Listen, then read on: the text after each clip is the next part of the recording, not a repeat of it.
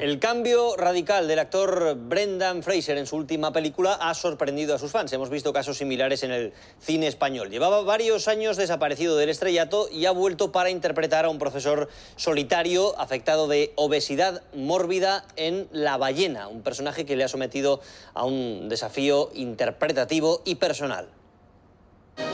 Después de saltar de liana en liana en la piel de un George de la jungla de carne y hueso, o de recorrer con él el Cairo en la momia, Brendan Fraser desapareció del estrellato con la película Medidas Extraordinarias, un título premonitorio de cómo volvería a protagonizar una película 10 años después y con 200 kilos más.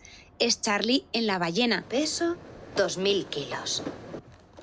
Vestir como tu personaje, hablar como tu personaje, vivir como tu personaje y a veces también comer como tu personaje.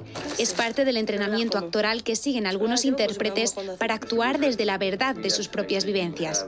Cuando se estrenó Gordos en 2009, nos lo contaba Antonio de la Torre. Podría estar horas contándote aquí las incomodidades cotidianas, algunas más... Eh, más confesables que otras. Yo tenía un contrato que Bajadas y subidas de peso son algunos de los cambios físicos a los que se someten los mismos actores una y otra vez en la piel de personajes distintos, hasta el punto de que sea difícil reconocerlos. No me conoces. Soy Torrente. Más allá de la báscula, piercings reales, tatuajes, cortes de pelo radicales. ¿Tú lo harías?